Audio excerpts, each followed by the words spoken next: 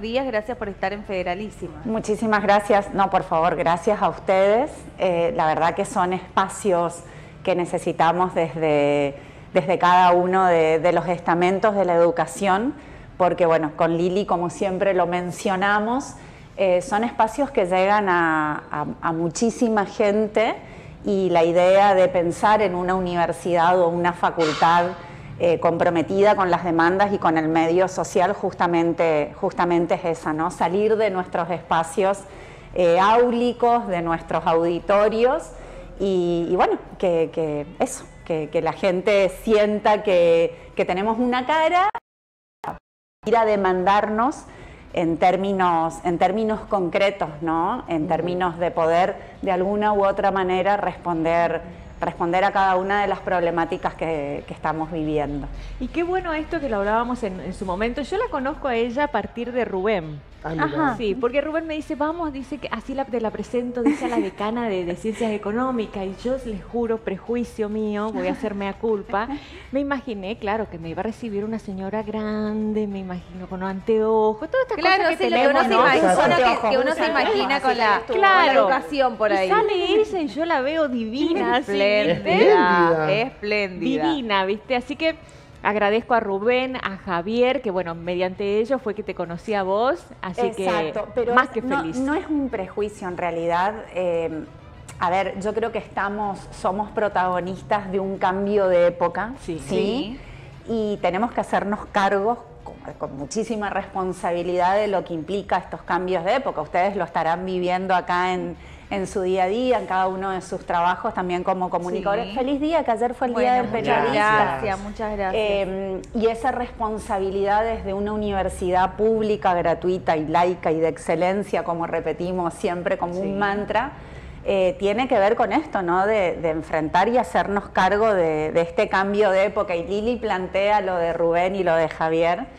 Eh, bueno, como, representantes en este momento del Centro Cultural Nordeste, porque también estaba ese prejuicio ¿no? de que la cultura no se pensaba desde los contenidos de una facultad de ciencias económicas, imagínense, o contenidos referidos a, eso, decía en el discurso de los 72 años de la facultad, porque estamos de festejo, contenidos tales como políticas de género, la inclusión de la comunidad LGTB políticas de tendientes a esta degradación que estamos viviendo del medio ambiente, era como hasta, pero eran, repito, es un cambio de época y tiene que ver con esto de que ya no hay compartimentos que dependan de una facultad y no de otra, sino que ahora sí hablamos de una formación integral de cada uno de nuestros estudiantes. Entonces es, es, es muy real lo que plantea Lili, no conocernos por eh, representantes del Centro Cultural Nordeste fue, fue algo muy, muy maravilloso. La verdad que sí, la verdad que sí. Viste cuando ahí hablábamos justamente esto de esta energía que cuando hay que conocer a alguien, bueno, me pasó con ella justamente, viste, parece que la conocieras de años. Así es. Así que la verdad que... sintonía. Exactamente. Viste, las mismas energías, las dos, así que me encantó. Esas mujeres con ganas, viste, cuando conoces a, esa, a esas mujeres eh, que decís, bueno, tiene qué lindo seguir conociendo mujeres así, como nosotras siempre decimos, ¿no? Empoderadas, seguir teniendo un rol de ponerse al frente de algo, de, lo que haga, de lo que le guste, lo que ama y que lo haga con tanta pasión, eso se contagia también. Así es, eso soy una convencidísima. Y venimos de una facultad de ciencias económicas, generalmente hablamos de una mayoría masculina, ¿no? Sí, por supuesto, pero no en la facultad de ciencias económicas, se da en la facultad de ciencias económicas, en la facultad de derecho también y en, bueno, en, carreras un poco más ortodoxas. Eso también tiene que ver ¿no? con este cambio de época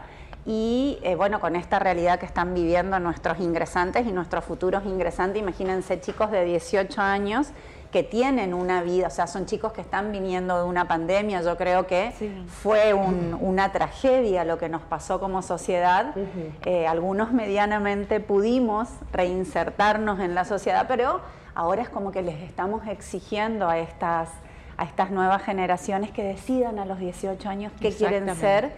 Y la verdad que carreras tan, tan fundamentales para el medio social como eh, bueno, las carreras que ofrecemos desde la facultad nos, nos enfrentan a esto, ¿no? de cuestionarnos si, si, bueno, si realmente estamos con nuestros planes de estudio dando al menos una señal de que estamos involucrados con, con las demandas sociales. Así que bueno, esa es nuestra mayor preocupación ahora y tiene que ver también con esta cuestión de que sí, la mayoría eh, de los profesores titulares y la, no en nuestra facultad, bueno, nosotros venimos de gestiones de mujeres de Cana, pero sí se, se ve en el ambiente, no, no, es un ambiente que está, que está por afuera de, eh, de, lo que tiene que ver con el patriarcado, ¿no? Exactamente. No, para nada, no, no, para nada.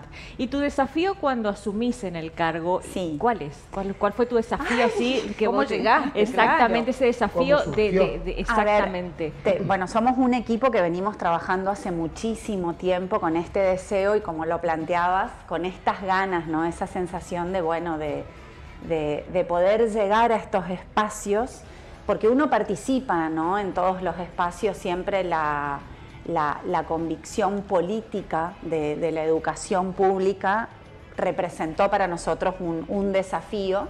Pero bueno, claro, hasta que uno no llega a estos espacios, un poco lo que comentamos siempre con, con nuestro rector, el doctor La Rosa, tiene posibilidades, pero no muchas posibilidades para realmente empezar a transitar determinados cambios, ¿no? determinadas, determinadas acciones concretas.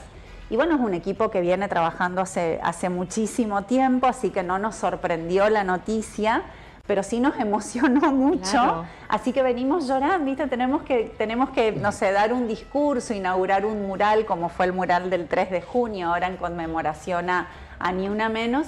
Y yo digo, tengo que empezar a manejar un poco el tema del llanto, porque claro, son, eso sí pasa, son emociones muy fuertes cuando, cuando un equipo se encuentra con, con, con este, con este poder ¿sí? De, de, de, nada, de transformar, de transformar, aunque sean pequeñas cositas, ¿no? Así que lo está estamos bueno. viviendo así como llorones. Está bueno, está bueno, es verdad, porque el día que fui al acto sí estaba, estaba así ella emocionada. Re, re claro, emocionada, claro, claro, y sobre todo, ¿no? Porque imagínense una facultad que cumplió 72 años, no sé, tenemos un patrimonio invaluable en la facultad, la verdad que es una facultad muy, muy brillante en cuanto a sus planes de estudios, imagínense eso, contaba en mi discurso, que hace 72 años, en el año 51, la facultad comenzó con un curso de perito, de contador, y ahora tenemos cinco carreras. O sea, más, claro. más la extensión geográfica que logramos, porque estamos en Pinedo, en Goya.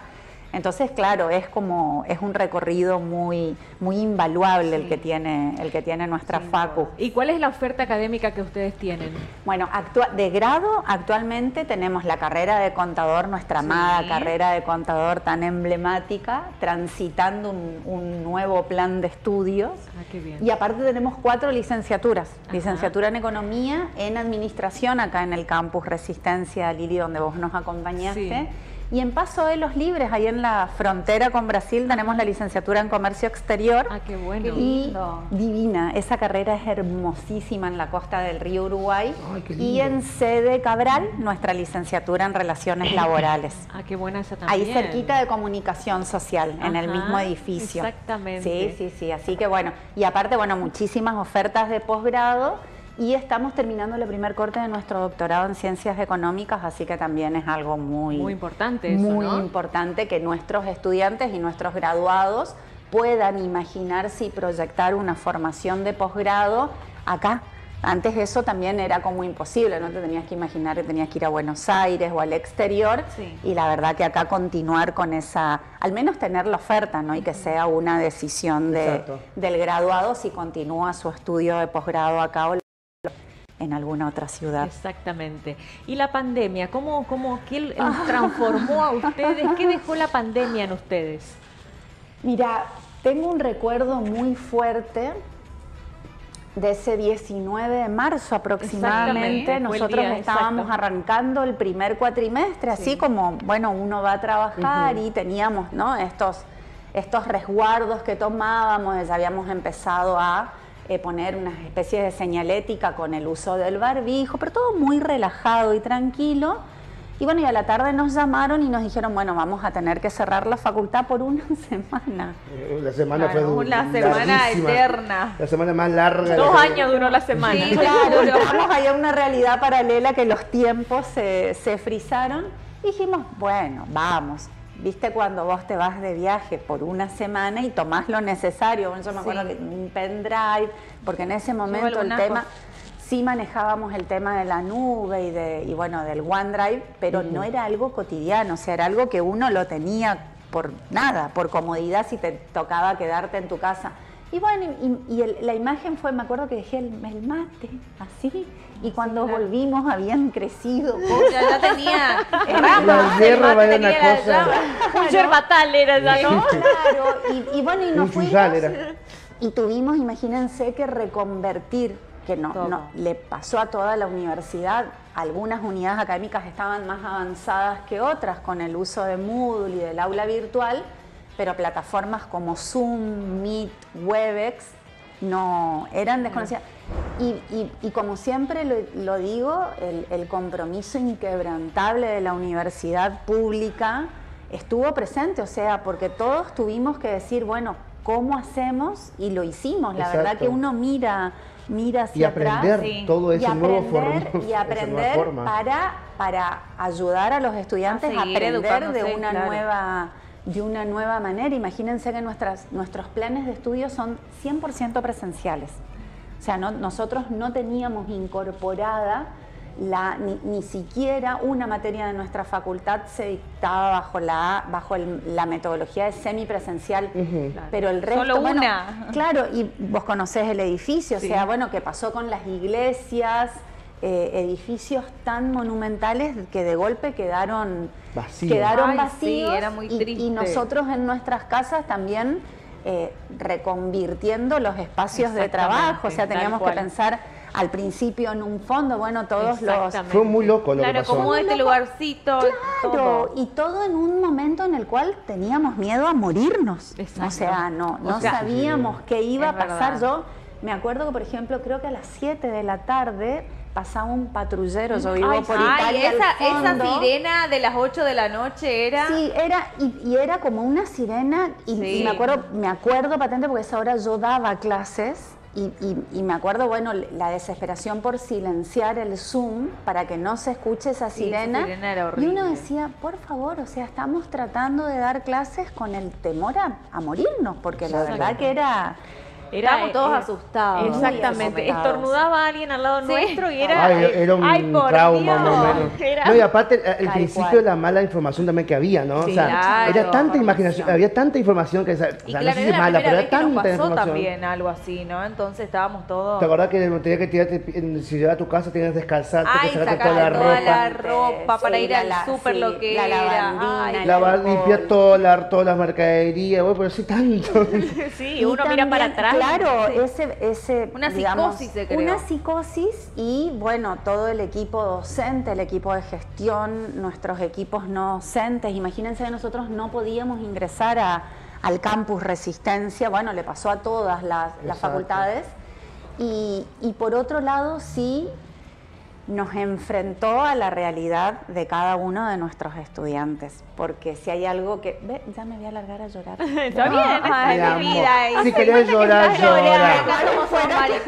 No, esta cuestión, ¿no? Que, que después cuando logramos sortear estas vallas tan altas, ¿no? De, bueno, que pudimos dar clase, pudimos asegurar la continuidad de los estudios. Teníamos que pensar en estudiantes que no tenían que perder un cuatrimestre, un año, porque se les complicaba la vida. O sea, chicos que habían alquilado del interior y se tuvieron que volver a sus casas. O sea, bueno, un montón de situaciones, eh, siempre resguardando la excelencia académica.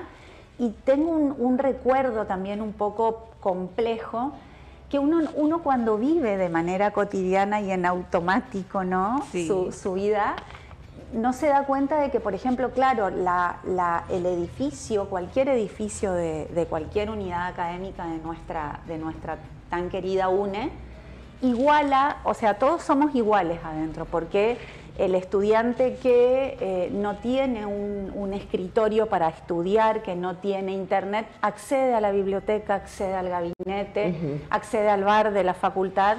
Y nos pasó, por ejemplo, que empezamos a pensar, bueno, ¿cómo vamos a hacer? Por eso les digo, son realidades casi una, de ciencia ficción. Decir, bueno, que, que los estudiantes no se copien entre ellos. Entonces decíamos, bueno, le vamos a pedir en nuestra locura, ¿no? Entre el miedo a morirnos y esta, o sea, había como una brecha muy, muy fuerte. Y yo tengo el recuerdo que dije, como, como titular de Fundamentos de Economía, bueno, vamos a exigirle a los estudiantes que con una cámara enfoquen su, su, examen, y con otra cámara enfoquen el entorno. Y me acuerdo en el primer parcial que tuvimos, un estudiante que le levanta la mano, habilita el micrófono y me dice, profe, yo me conecto con el celular y dice, y me, dice, ¿puedo escribir en mi cama? Porque yo no tengo un escritorio. claro, en el armado del protocolo, nosotros el estudiante deberá estar sentado, derecho. Y vos decís, fíjense cómo en esta reconversión, casi, casi, pero no, este estudiante nos salvó, caímos en la, en, esto, en lo automático de decir, y eso, y también tuvimos que salir a buscar becas de conectividad porque había chicos que en sus casas en el interior no tenían claro, wifi. Y, y a veces en el interior mismo no tienen buena conexión de Exacto. internet. Pero bueno, también nos humanizó muchísimo, muchísimo, muchísimo, a sabiendas de que ahora adentro de, la facultad, bueno, logramos generar muchos más espacios de recreación eh, y espacios con, con wifi y no que, que, que tengan esta posibilidad ahora sí, post pandemia, de nada, de tener una buena conexión. Y bueno, esa, esa fue una cuestión muy fuerte, esto de lo humano en cada uno de nosotros. Que está bueno. De pensar que no son 1800 ingresantes, un número así frío, sino que detrás hay cada detrás de cada uno de nuestros estudiantes hay historia. Y bueno, lo mismo Claro, todos los, los, mismos, a ver, yo vivía en la cuadra de la, de la facultad, vivía y, y todos eran estudiantes donde yo vivía y quedó completamente vacío. Qué triste. ¿Cuánto tiempo ellos no pudieron volver ni a buscar sus cosas y aún así con todo el esfuerzo de los padres para que ellos estudien, de seguir pagando el alquiler porque todos seguían teniendo sus cosas en los alquileres. Y también pensar en la brecha, en la brecha generacional de que tenemos docentes que les costó muchísimo reconvertir. Imagínense, no, no, no, no, no, no, para ellos era, bueno, pero acá estamos y bueno, como decís Lili, nos dejó esto de ser mucho más eh, sensible, empáticos con, la realidad de cada uno de nuestros estudiantes no docentes em, y graduados, por supuesto, con nuestros profesores. Y por otro lado, esta cuestión de quedarnos con lo que nos sirvió, de decir, bueno, a ver, pensemos, es necesario esto que decíamos, ¿no? La degradación del medio ambiente es necesario el uso de tanto papel. Claro, exactamente. Es necesario que ahora sí todas las clases sean presenciales. Bueno, y en esto la universidad también tuvo políticas concretas, porque vieron que son momentos de actuar. Sí. Eh, y estamos, estamos ahora ya en, proceso. El viernes pasado entregamos el primer diploma digital. Ah, sin papel a, ah, un graduado de una carrera de posgrado que estaba en Mar del Plata y él se conectó no, la verdad, Eri, por eso les digo casi lo que antes de la pandemia pensábamos una especie de ciencia ficción. Exacto. Ahora eh, vino y Claro, y está bueno el tema también de la despapelización, ¿no? O sea, ahora con estos nuevos sistemas que estamos teniendo integrales en la universidad, ya no hay más listas publicadas, ya no se toma asistencia con, o sea, estamos implementando, lo hicimos ya tomar asistencia con un QR. Así que bueno, para no ponernos tan dramáticos, no, pero está bueno porque también, porque todo eso fue lo que llevó a lo positivo. Exactamente, y aportamos y cuidamos nuestro ambiente, como vos bien los decís, evitamos tanto desmonte, evitamos tantas situaciones que termina afectándonos a nosotros, ¿no? Como ciudadanos y como seres que habitamos esta casa que es el planeta. Totalmente, pero repito, para eso siempre tenemos que tener el compromiso político y tenemos que tener equipos de gestión que reconozcan y que se den cuenta que en nosotros está la decisión política de decir, bueno, vamos por este sendero. Y, bueno, lo decía también en mi discurso, ¿no? O sea, nosotros somos una facultad de las 11 facultades que tiene la universidad y no se podrían lograr eh, todas estas, eh, todos estos avances si la verdad que no, no, o sea, no tuviésemos el acompañamiento de, de las políticas de la universidad. Así que estamos alineados. Bueno, la verdad que, Ay, que me encantó. Me, encantó una vez más eh, poder compartir. Ahora yo te visité en tu casa, ahora vos me visitas en la mía. Había una cuestión de karma y de cerrar el círculo. Me encanta la luz que tiene esta mujer. ¿Viste? Ay, sí, es muy amorosa. amorosa. Me, me pasó, me pasó eh, cuando la conocí, ¿eh? Me pasó cuando la conocí. O sea, yo primero le digo, Rubén, ay, Rubén, qué sé yo, qué sé cuánto. Pero encima fue muy gracioso porque estábamos por presentar la muestra 8M eh, que bueno, que sigue esa muestra, esa muestra que era itinerante, le, mentimos al director del Centro Cultural Nordeste, le dijimos sí, un mes, dos meses. Y que está ahí quedaron las chicas. Y, y, bueno, no pasen, bueno, y claro, esta cuestión también de recorrer los espacios de la facultad, como, como ustedes nos invitan acá, ¿no? Que yo entré, Mauro, bueno, un sol, que todo tu equipo, todo el equipo de producción o sea, esa sensación de que, bueno, las facultades, eso, y, y, Rubén me decía, y después me decía Javier, pobre Lili estaba re nerviosa que iba a entrar al Ay, mi amor. Es tímida, aunque no. Sí, sí, es muy tímida. es muy tímida, aunque no parezca. Exactamente, aunque Igual que yo. igual que. Igual tímida. Timidonga. Bueno, Moira, muchísimas gracias. Gracias, por tu tiempo, porque sé que estás con una agenda bastante No, por favor. Ante todo esto, ¿no? De, la comunicación, yo les agradezco el espacio, porque es lo que necesitamos, la, el compromiso también de los medios de nada, de dar a conocer un poquito nuestro, nuestro trabajo cotidiano, que como siempre lo digo, esto, ¿no? De esto que planteabas vos, decir, bueno, independientemente del lugar en donde esté trabajando, si sea en la FAC o en la universidad, esta llama, ¿no? Que, que, bueno, que te hace poner primero y continuar. Así que yo les agradezco a ustedes. Muchísimas gracias. gracias. Muchísimas gracias. Somos el primer canal de noticias desde el interior del país. Transmite desde el histórico Chalet Rapacioli, Resistencia, Chaco, Norte Grande Federal. Somos periodismo con historia.